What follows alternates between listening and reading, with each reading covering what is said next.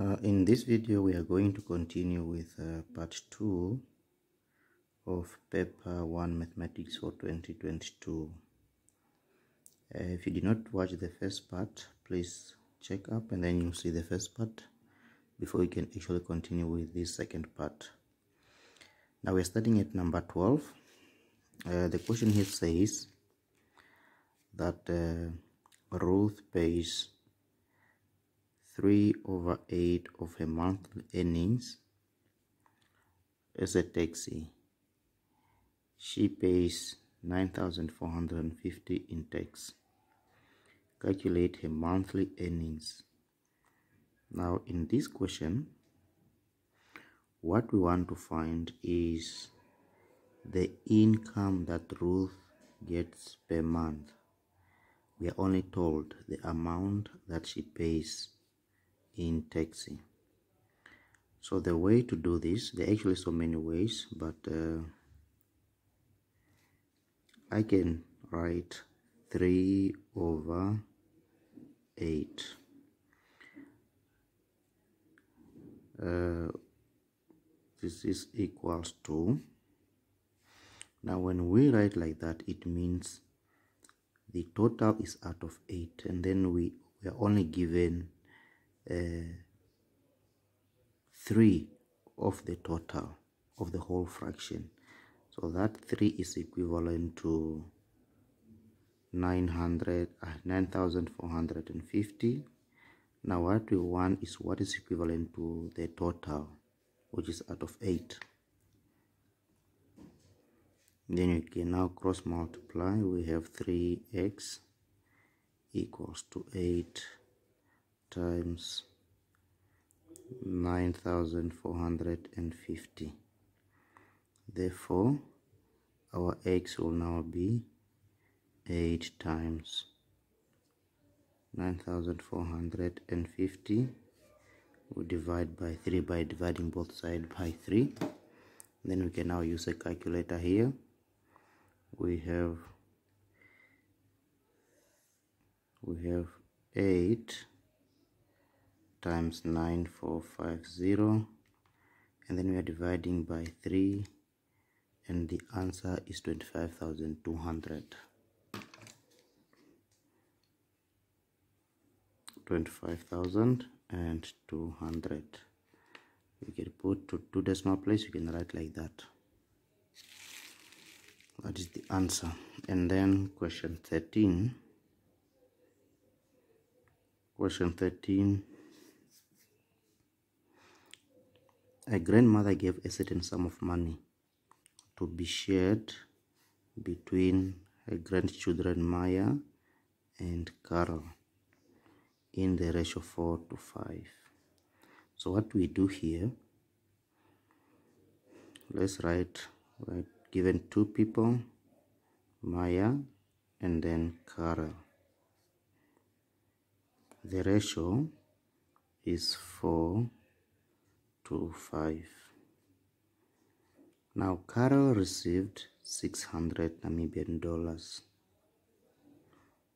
Carol receives, you can see where I'm writing my 600. That is the part where Carol is. Under Carol I have the ratio is 5 and then I'm giving, I'm writing the amount there and then we do not know how much Maya received. Now the question says calculate the total amount that the grandmother gave to her children, Maya and Carol. Now, many times people find this type of questions difficult because as soon as they get this amount, they think that is the total amount. But in this case, we have to get the amount that was given to Maya, and after that, we add the amount that was given to Maya and Carol, and then we get our final answer. Now, this, what I'm going to do here I'm going to divide 600 by 5 600 by 5 and then I'm getting 120 I divided 600 by 5 to get 120 now why am I doing this? I'm doing that I'm dividing this 600 by 5 to get the number that was multiplied by 5 to give me 600 because this is a direct proportion we also expect this amount here to actually increase. So what I will do now I will now multiply that by 120 so 4 times 120 I'm getting 480 so Maya received 480 now the total I have to add these two. The amount because we're looking for the total amount the amount that Carol received and the amount that Maya received. Now I can add those two.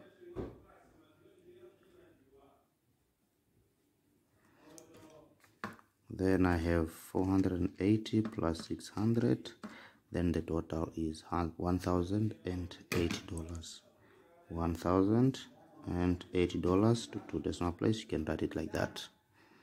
And that is the total which was shared between Maya and Carol. Let's proceed with question 14 question 14 is actually on exchange rate. And please if you do not subscribe to this channel please do so. Uh, support my channel because uh, i'll be uploading videos on mathematics almost every if not every two weeks maybe every month.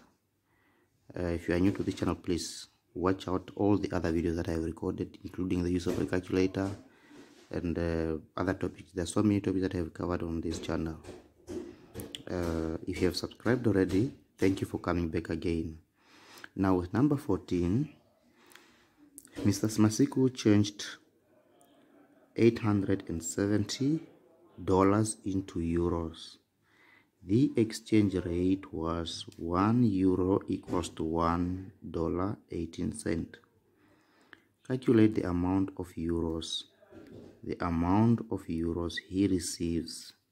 This person changed that amount into euros. So what you do first always write the exchange rate before you do anything else. So the exchange rate is 1 euro equals to 1 dollar 18 cent. Now we are given this amount in dollars so we put equal here and then we write whatever that we are given in dollars there and then we can now put x here. We are now finding the amount in euros. That's when we now cross multiply. But then in this case just like uh, what I did in the previous video I'm going to divide this by that so that I can get the amount which Mrs. Masiko received in euros. 870 I divide by one dollar 18 cent and then I'm getting 700 and that's 7 let me write that amount. 700 and 37 dollar to two decimal place this will become 29 29 cents. That is the amount which was received in euros. And then number 15 a bus leaves at 9 minutes after after 1 and arrives in Otavi at that time. How long in other words how many hours did the journey take? Now what you do with this question i will advise you to always use a calculator. Although there are too much there but this is what i do uh, let me write it this way. Uh, but let me just take the calculator and then put it there. This is the arrival time and that is the departure time. So I'll take the arrival minus the departure time using the calculator. And we are going to use this button here. Now the arrival time it's 22 you press this button here once and then that is the hour. And then the minutes is 7 you press the same button again that's minutes. And then minus the departure time which is 13 hour and then 09 minutes. I press my equal sign.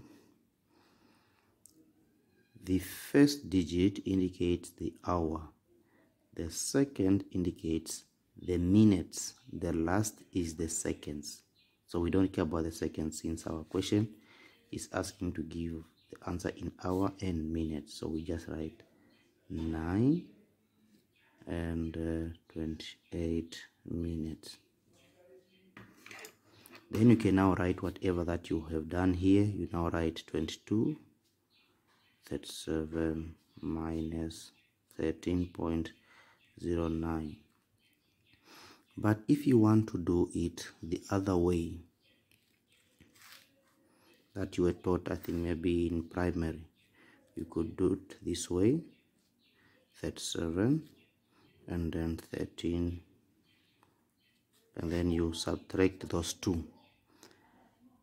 You will still get the same answer as that where you are now going to subtract 7 minus 9 which cannot you borrow 1 from 3 to become 2 there and then you have 17 you have 17 minus 9 which will give you 8 which will give you 8 and then here you have 2 minus 0 gives you 2 and then here 2 minus 3 it cannot it will give you uh, it will give it will not give you anything.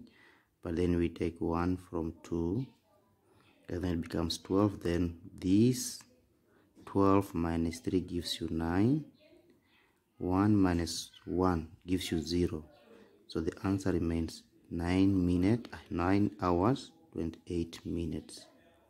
So you can still do it this way. It's either you do it that way with a calculator or you can do it this way. You get all your marks. And then number 16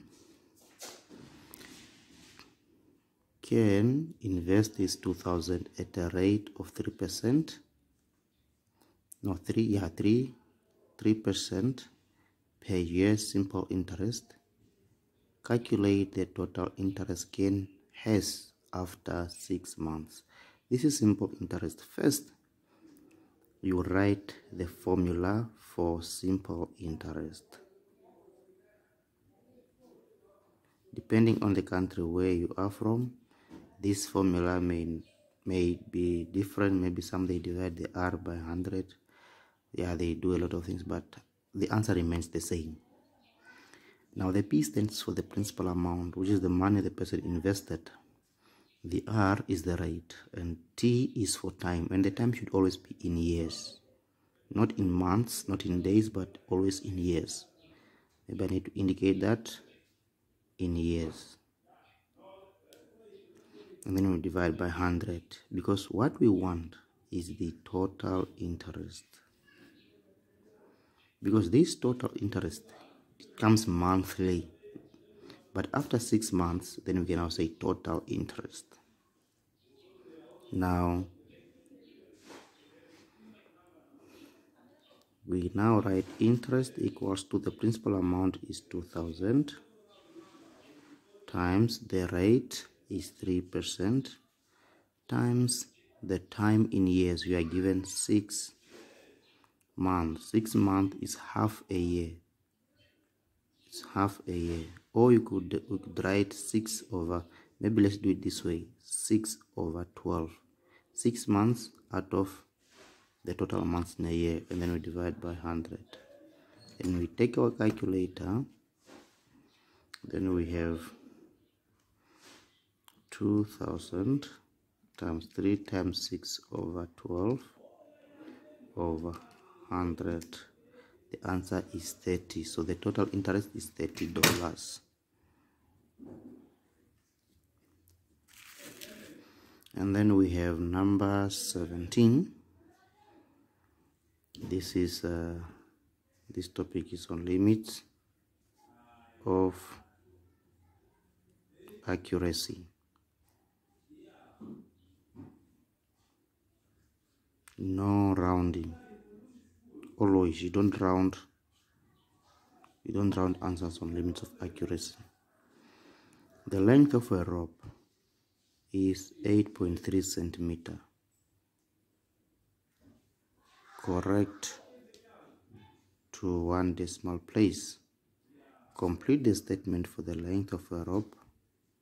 So what you do here you write 8 Ah, to one decimal place you write 0 0.1 over 2 you get 0 0.05